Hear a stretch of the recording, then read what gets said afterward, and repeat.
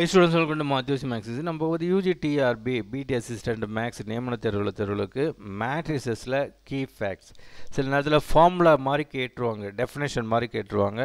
So இதெல்லாம் தெரிஞ்சுக்கிட்டால் உங்களுக்கு ஹெல்ப்ஃபுல்லாக இருக்கும் யூஸ்ஃபுல்லாக இருக்கும். இப்போது definition of a matrix matrix அப்படின்னு பார்த்தீங்கன்னா எம் பை என் வடிவில் உள்ள ஒரு ரெக்டாங்குலர் அரேன்னு சொல்லுவாங்க. மேபி இது வந்து ஸ்கொயராக கூட மாறலாம். ரைட்டுங்களா இதில் எம் என்பது என்னன்னு பார்த்தீங்கன்னா ரோ ரோனா ஒன்றும் இல்லை சார். இப்படி இருக்கிறது தான் ரோ. இப்படி இப்படி இப்படின்றது ரோ. அதில் என் அப்படின்றது காலம். ரைட்டுங்களா? காலம்ன்றது நம்ம வீடு கட்டும்போது காலம் எழுப்பிட்டீங்களா அப்படின்னு கேட்போங்க. பில்லர் காலம். ரைட்டுங்களா? ஒரு ஒரு பக்கா பில்டிங் இப்போ கட்டுறோம்னா கன்ஸ்ட்ரக்ஷனுக்கு பில்லர் அந்த பேஸ் வந்து இதுவாக இருக்கணும். அது நம்ம ஒரு சிலர் வந்து பில்லர்னு சொல்லுவாங்க. அந்த கட்டுறவங்களாம் பார்த்தீங்கன்னா காலம்னு சொல்லுவாங்க. ரைட்டுங்களா காலம் அப்படின்வாங்க காலம் மீன்ஸ் நிற்கிறது தான் காலம். அப்போது இப்படி இருக்கிறதெல்லாம் வந்து காலம். ரைட்டுங்களா வரிசையாக நில்லு ரோவில் நில்லு அப்படின்னா ஹரிசாண்டலாக இருக்கும். காலம் அப்படின்றது வெர்டிகலாக இருக்கணும். இந்த ரோவும் காலத்தில் குழப்பம் இல்லாமல் நீங்கள் இருக்கணும். ரைட்டுங்களா? ரேஷனில் போய் நம்ம எதனா வாங்குகிறோம் தேட்டரில் டிக்கெட் வாங்குகிறோம் அப்படின்னும் போது எங்கேயோ ஒரு இடத்துல லைனில் நிற்கிறோம் அப்படின்னும் போது அதுக்கு பேர் ஏம்பா போய் ரோவில் நில்லுப்பா அப்படின்வாங்க ரைட்டுங்களா? ஒருத்தர் லைனில் நில்லுன்னு சொல்லுவாங்க ஒருத்தர் ரோன்னு சொல்லுவாங்க. அப்போ ரோ அப்படின்றது இப்படி இருக்கிறது? காலம்ன்றது நிற்கிறது இது நிறைய பேருக்கு குழப்பம் வரும். எது ரோ எது காலம் அப்படின்றது. ஸோ ஒரு மேட்ரிக்ஸில் எப்படி சொல்லுவாங்க அப்படின்னு பார்த்தீங்கன்னா எம் பை என்னு சொல்லுவாங்க. இது எப்படி படிக்கணும்னா எம் பை என் ரைட்டுங்களா? M is a row N is a column for example இப்படி கொடுக்குறாங்கன்னா இப்படி மூணு இருக்குது இப்படி நிற்கிறதுலேயும் மூணு இருக்குது அப்போ அது த்ரீ பை த்ரீ மேட்ரிக்ஸ் இதை பார்த்தீங்கன்னா ஒன்று ரெண்டு மூணு இருக்குது அப்போ மூணு ரோ காலம் நிற்கிறது பார்த்தீங்கன்னா வெர்டிகலாக இருக்குது ரெண்டே தான். அப்போ த்ரீ பை டூ மேட்ரிக்ஸ் ரைட்டுங்களா ஓகே அடுத்தது டைப் ஆஃப் மேட்ரிக்ஸஸ் என்னென்ன இருக்குது அப்படின்னு பார்த்தீங்கன்னா ரோ மேட்ரிக்ஸ்னு ஒன்று சொல்லுவாங்க. பொதுவாக மேட்ரிக்ஸ்னால் எம் பை என் இது என்னடா ரோ மேட்ரிக்ஸ் அப்படின்னா ரோ அப்படின்னாலே தெரியும். அப்போ ஒரே ஒரு ரோ இருக்குதுன்னா அதுக்கு பேர் ரோ மேட்ரிக்ஸ் இப்போ இப்படி இருக்குன்னு வச்சுக்கோங்களேன். இப்படி கோடு போட்டிங்கன்னா ஒன்று தான் வருது. ஒன்று மூணு அஞ்சு ஆறுன்னு ஒரே லைனில் வருது. அப்போ அது ஒன்று அடுத்தது காலம் பார்த்திங்கன்னா ஒன்று ரெண்டு மூணு நாலு. அப்போ இது ஒன் பை ஃபோர் அப்படி இருந்தாலும் ரோ மேட்ரிக்ஸ் அதே மாதிரி அஞ்சுன்னு ஒன்றே ஒன்று எடுக்கிறோன்னு வச்சுக்கோங்களேன். இப்படி அஞ்சுன்னு எடுக்கிறோம்னா இப்படி ஒன்று தான் இருக்குது இப்படி ஒன்று தான் இருக்குது அது one by one row matrix ரைட்டுங்களா ஓகே அடுத்தது இந்த அஞ்சை ஒன் பை ஒன் காலம் மேட்ரிக்ஸ்னு சொல்லலாம். அப்படியும் சொல்லலாம். அடுத்தது காலம் மேட்ரிக்ஸ் காலம் மேட்ரிக்ஸ்ன்றது நம்மளுக்கு ஒன்று தான் வரணும். காலம் மேட்ரிக்ஸ்னால் ஒன்று தான் வரணும். அப்படி பார்த்தீங்கன்னா இந்த பாருங்கள் இப்படி ஒன்று தான் இருக்குது பட்டு நம்ம மேட்ரிக்ஸை சொல்லும்போது ரோ இன்ட்டு காலம் சொல்லணும். ரோ இன்ட்டு காலம் அப்போ ரோ எத்தனை வருது? ஒன்று ரெண்டு மூணு வருது. காலம் ஒன்று வருது. அப்போ three by one matrix three by one column matrix அடுத்தது horizontal matrix if in a matrix the number of rows is less than the number of columns then it is called a horizontal matrix. அப்படின்னா என்ன அர்த்தம்னு பார்த்தீங்கன்னா M என்பது என்னை விட கம்மியாக இருக்கணும். பார்த்தீங்கன்னா அரிசாண்டல் மேட்ரிக்ஸ்னால் இப்படி தான் இது இப்போ இப்போ நம்ம சொன்னோம் இல்லைங்களா? அரிசாண்டல் அப்படின்னும் போது இப்படி இருக்கணும். இதுதான் அரிசாண்டல் அரிசாண்டலில் பெருசாக இருக்கும். நீ அது பாட்டு நீட்டாக போயிட்டே இருக்கும். அதாவது ரோ வந்து கம்மியாக இருக்கும். ரோ வந்து கம்மியாக இருக்கும்.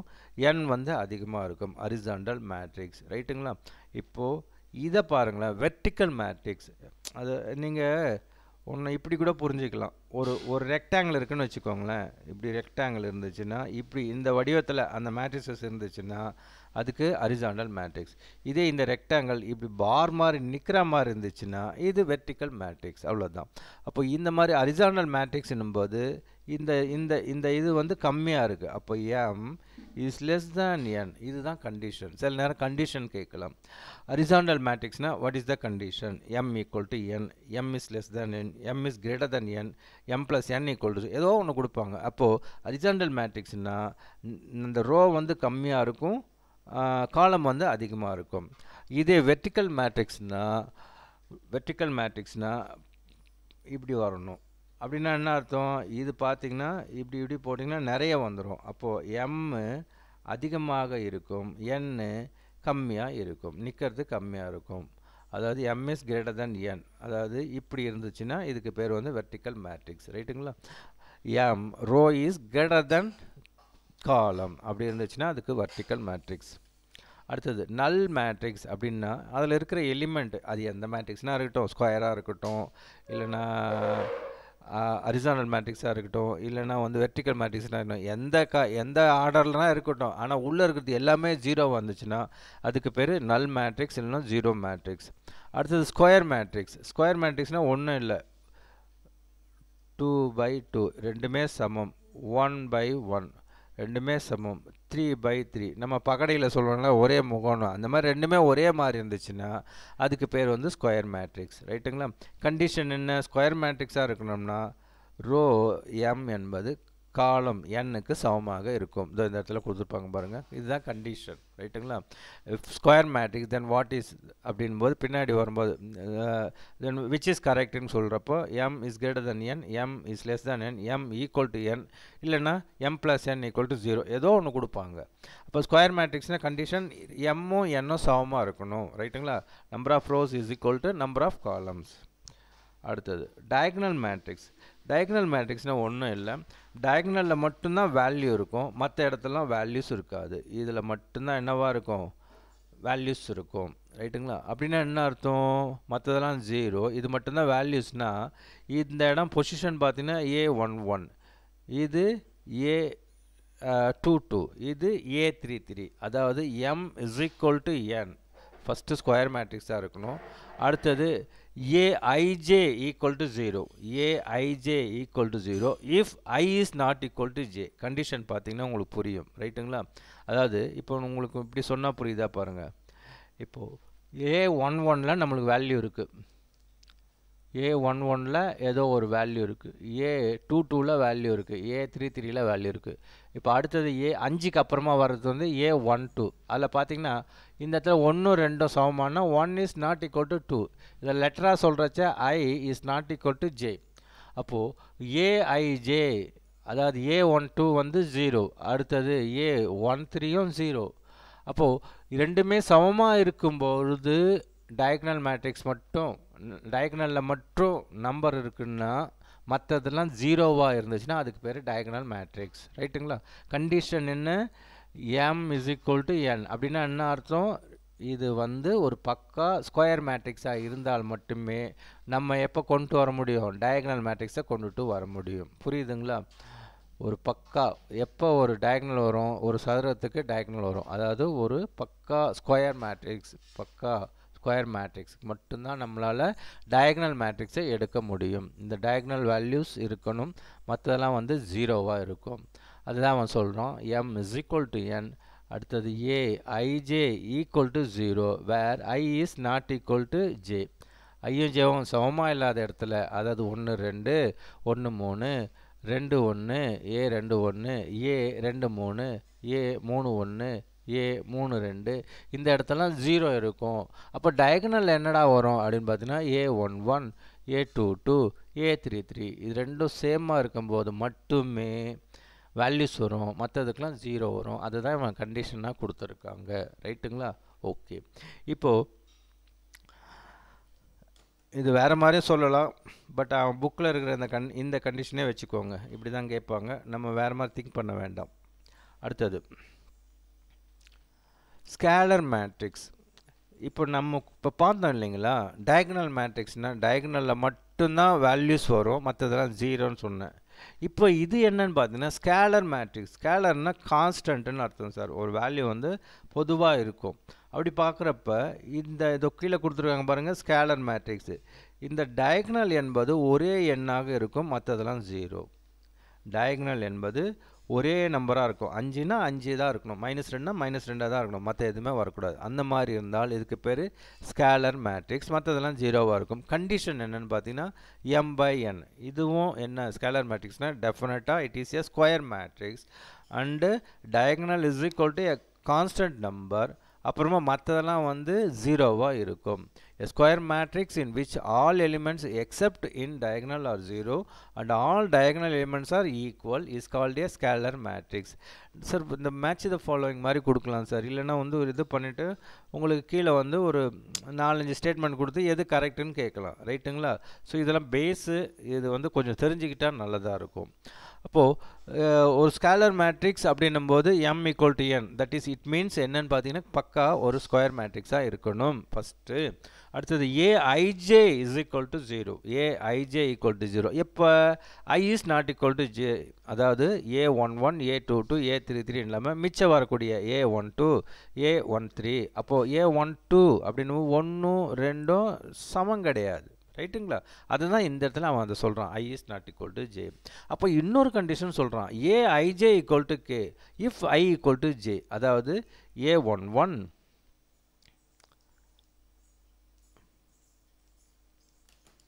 A I J is equal to K கேனா constant எல்லாத்துக்கும் வரணும். A I J is equal to K constant I equal to J அதாவது I I equal to J அதாவது ஏஐஜேனா ஐ ஈக்குவல் டு ஜேனா இது என்ன போறியோ அதுதான் இங்கே போடணும். அதாவது A one one A two two A three three இது எல்லாமே எங்கே வரும்? டயகனலாக வரும். அப்போ அது எல்லாமே என்னன்னு சொல்கிறாங்க கான்ஸ்டன்ட் ஒரு நம்பர் போட்டால் அதே தான் எல்லாத்துக்கே வரணும்.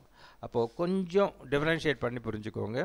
டயகனல் மேட்ரிக்ஸ்னால் டயகனலில் வேல்யூஸ் இருக்கும். பட் அது மாறி கூட இருக்கலாம். ஒன்றுத்துக்கு ஒன்று சம்மந்தம் இல்லாமல் இருக்கலாம். அப்படி இருந்தால் அது டயகனல் மேட்ரிக்ஸ் அதே அந்த டயக்னல் மேட்ரிக்ஸில் டயக்னல் வேல்யூ எல்லாத்துலேயும் ஒன்றா இருக்கும். மற்ற rest of the elements rest of the இதெல்லாம் பார்த்தீங்கன்னா ஜீரோவாக இருக்கும். அதுக்கு பேர் ஸ்கேலர் மேட்ரிக்ஸ் அடுத்து யூனிட் மேட்ரிக்ஸ் இது பார்த்திங்கன்னா இதுவும் பக்கா டயக்னல் ஸ்கொயர் மேட்ரிக்ஸாக இருக்கணும்.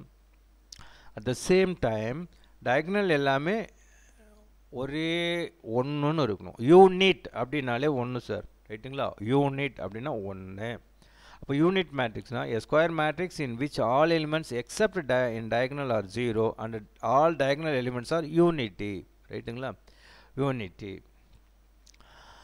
அப்போது இந்த டயக்னல் எல்லாமே ஒன்றா இருக்கும். இது தவிர்த்து மிச்சம் இருக்கிறது எல்லாமே ஜீரோவாக இருந்துச்சுன்னா அது யூனிட் மேட்ரிக்ஸ் கண்டிஷன் என்னென்னு பார்த்தீங்கன்னா எம் ஈக்குவல் டு என் அவன் என்ன சொல்கிறான்னா டயக்னல் மேட்ரிக்ஸ் சார் ஸ்கொயர் மேட்ரிக்ஸாக இருக்கணும். அடுத்தது A I J equal to zero if I is not equal to zero அப்படின்னு என்ன அர்த்தம்னா இதெல்லாம் வந்து ஜீரோவாக இருக்கும்னு சொல்கிறாங்க இந்த டயக்னலுக்கு என்ன டிஃபைன் பண்ணுறாங்கன்னா A I J equal to one if I equal to J ரைட்டுங்களா இந்த டயக்னல்னால் இது A one one A two two A three three அப்போது இதெல்லாம் ஒன்றா இருக்கும். எப்போ? I is equal to J அதாவது A one one A two two இதுதான் ஐ இதுதான் ஐ இதுதான் ஜே ரெண்டும் சமம் அப்படின்னு இந்த மூணாவது சொல்கிறோம் ரைட்டுங்களா ஓகே அடுத்தது. Upper triangular matrix upper triangular matrix a square matrix is said to be a upper triangular matrix if each elements below the principal diagonal is zero. எது principal diagonal ஆ இது ஒன்று சொல்லணும். பிரின்சிபல் டயகனல்னால் இது சொல்கிறாங்க இல்லையா? இதுக்கு பேர் தான் principal diagonal. இதுக்கு பேர் தான் principal diagonal. இந்த upper upper triangular matrixனா இதுதான்.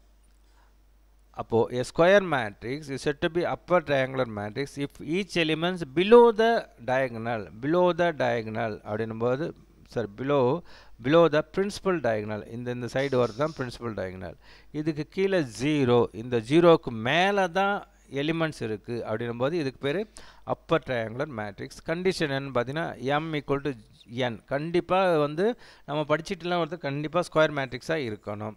இப்போ கண்டிஷன் என்ன பார்த்தீங்கன்னா A I J equal to zero if I is greater than J இந்த கண்டிஷன் கொஞ்சம் நல்லா புரிஞ்சுக்கோங்க. அதாவது IJ A IJ equal to zero ஒரு ஒரு எலிமெண்ட்டும் ஜீரோ ஆகணும். எப்போ அப்படின்னு பார்த்தீங்கன்னா I is greater than zero அப்படி பார்த்தீங்கன்னா இந்த இடத்துல வருது பார்த்தீங்களா இந்த இடத்துல I is greater than zero இது என்னன்னு சொல்லுவாங்க? இது என்னன்னு சொல்லுவாங்க?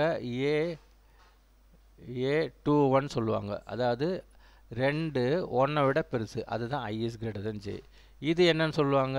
ஏ த்ரீ ஒன் சொல்லுவாங்க. I is greater than J yes மூணு ஒன்னோட பெருசு. இது என்னன்னு சொல்லுவாங்க? ஏ த்ரீ டூ பொசிஷன் அப்போ மூணு ரெண்டை விட பெருசு. அதுதான் I is greater than J so இது இந்த கண்டிஷன் வச்சுக்கிட்டு கணக்கு மேட்ச் இது ஃபாலோவிங்கில் அது மாதிரி அதனால் கேட்கலாம். அதால் அதை புரிஞ்சுக்கோங்க. அடுத்தது லோயர் ட்ரையாங்குலர் மேட்ரிக்ஸ் இது ஒன்றுமே இல்லை.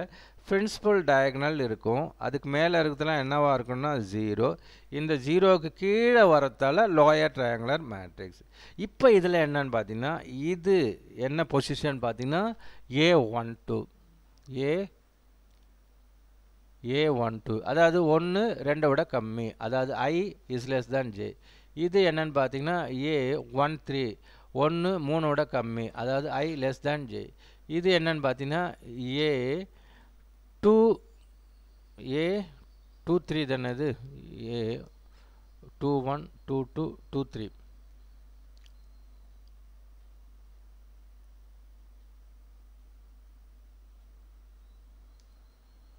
ஆமாம் டூ த்ரீ கரெக்டு தான்.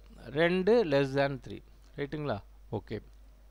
அப்போ இதுக்கு லோயர் ட்ரையாங்குலர் மேட்ரிக்ஸுக்கு கண்டிஷன் என்னென்னு பார்த்தீங்கன்னா I is less than J lower triangular மேட்ரிக்ஸ்னால் ஒரு பிரின்சிபல் டயங்கல் போடுறோம். இந்த மேலே ஜீரோ வரும். ஜீரோவுக்கு கீழே இந்த கீழே டயாங்கல் ட்ரையாங்குலர் இப்படி வரும்.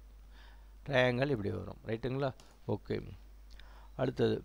சப் மேட்ரிக்ஸ் ஏதோ ஒரு மேட்ரிக்ஸ் எடுக்கிறோம். அந்த மேட்ரிக்ஸ்லேருந்து எனக்கு தேவையான சின்னதாக நான் கட் பண்ணி எடுத்துக்கிறேன் அப்படின்றதுக்கு சப் மேட்ரிக்ஸ் இது வந்து ஒரு த்ரீ பை த்ரீ மேட்ரிக்ஸ் இதில் ஏதோ ஒரு ரெண்டு எடுத்துக்கிறேன் அப்படின்போது அது சப் மேட்ரிக்ஸ் இல்லைனா இப்படி எடுத்தோன்னா அது ஒரு சப் மேட்ரிக்ஸ் இல்லைனா ஒரே ஒரு காலத்தை கட் பண்ணி எடுத்தால் அதுக்கு சப் மேட்ரிக்ஸ் இல்லைனா ஒரே ஒரு ரோ மேட்ரிக்ஸ் எடுத்து போட்டாலும் ஒரு சப் மேட்ரிக்ஸ் இல்லை இது ரெண்டு ரெண்டாக மூணு பை மூணை நமக்கு ஏற்ற மாதிரி பிரிச்சுக்கலாம். மூணு பை ரெண்டாக பிரிச்சுக்கலாம் மூணு பை ஒன்றா பிரிச்சுக்கலாம். இல்லைனா ஒன்று பை மூணாக பிரிச்சுக்கலாம் இல்லை ஒன்று பை ரெண்டாக பிரிச்சுக்கலாம் இல்லை ரெண்டு பை ரெண்டான்னு பிரிச்சுக்கலாம். எப்படியோ உனக்கு எந்த சௌகரியத்தில் வேணுமோ அந்த மாதிரி கட் பண்ணி எடுத்துக்கிட்டோன்னா அதுக்கு பேர் சப் மேட்ரிக்ஸ் அப்போ சப் மேட்ரிக்ஸாக இருந்தாலும் இல்லை இதுக்கு வந்து square matrix whatever it is எந்த ஸ்கொயர் எந்த மேட்ரிக்ஸாக இருந்தாலும் அதுலேருந்து நம்ம சப் மேட்ரிக்ஸை எடுக்கலாம். அடுத்தது கம்பேரபிள் மேட்ரிக்ஸ் இப்போது எக்ஸ் மைனஸ் ஒய் மூணு zero is equal to is equal to is equal to எவ்வளோன்னு கொடுக்குறாங்கன்னா அஞ்சு மூணு ஜீரோ ஏழுன்னு கொடுக்குறான்னு வச்சுக்கோங்களேன். இந்த ஃபஸ்ட்டு டேம் ஃபஸ்ட்டு டேமுக்கு சமம். செகண்ட் டேம் செகண்ட் டேமுக்கு சமம். இது இந்த இருக்கிற இந்த இந்த எலிமெண்ட்டுக்கு சமம். இந்த ஏ டூ டூ இதில் இருக்கிற ஏ டூ டூக்கு சமம். அவ்வளோதான் அப்போ கம்பேரபிள் மேட்ரிசஸ்னாலும் மேபி ஸ்கொயர் மேட்ரிக்ஸாக இருக்கலாம். இல்லைன்னா இதோட இதோட ஆர்டர் எம் பை என்னன்னா இதோட ஆர்டரும் எம் பை என்னாக இருக்கணும் அப்போ தான் நம்ம என்ன பண்ண முடியும்? கம்பேர் பண்ண முடியும். ரைட்டுங்களா புரியுதுங்களா? இதோட ஆர்டரும் கம்பேர் பண்ணுற ஆர்டரும் ஒன்றா இருந்தால் தான் நம்ம எலிமெண்ட்ஸை கம்பேர் பண்ண முடியும். Two matrices are said to be comparable if they are same order அந்த ஆர்டர்ன்றது ஒன்றும் இல்லை. எம் பை என் ரைட்டுங்களா அப்படி இருந்தால் தான் நம்மளால் கம்பேர் பண்ண முடியும். ஈக்குவல் மேட்ரிசஸ் இதுவும் அதே மாதிரி தான் ஈக்குவல் மேட்ரிசஸ்னால் ரெண்டுத்தினுடைய ஆர்டரும் இது எம் பை என்னுன்னா இன்னொரு மேட்ரிக்ஸும் எம் பை என்னன்னு இருக்கணும். இது ரெண்டும் ஈக்குவலாக இருக்கணும். அட் த சேம் டைம் இதில் ஃபஸ்ட்டு எலிமெண்ட் அஞ்சுனா இதுலேயும் ஃபஸ்ட்டு எலிமெண்ட் அஞ்சு. அடுத்தது என்னன்னு பார்த்தீங்கன்னா இங்கே மைனஸ் ஏழுனா அடுத்ததும் மைனஸ் ஏழு. அந்த மாதிரி இருந்தால் அதுக்கு பேர் equal matrices two matrices are said to be equal if the matrices are same order and the corresponding elements are equal இந்த பாருங்க. கரஸ்பாண்டிங் எலிமெண்ட்ஸ் ஆர் ஈக்குவல் இதில் என்ன இருக்கோ அதே தான் அடுத்ததுலேயும் வரணும். அவ்வளோதான் சார் இது வந்து பேஸு பேசிக்கான சில விஷயங்கள். இந்த மேட்ரிசஸில் தெரிஞ்சுக்கணும். இன்னும் ஒரு சில இதெல்லாம் இருக்குது ஐடம் பொட்டன்ட்டு நில் பொட்டன்ட்டு ஸ்கியூ மேட்ரிக்ஸு அந்த மாதிரிலாம் இருக்குது ஸோ அதுவும் நம்ம வந்து அடுத்த வீடியோ பார்க்கலாம். தேங்க்யூ ஃபார் வாட்சிங்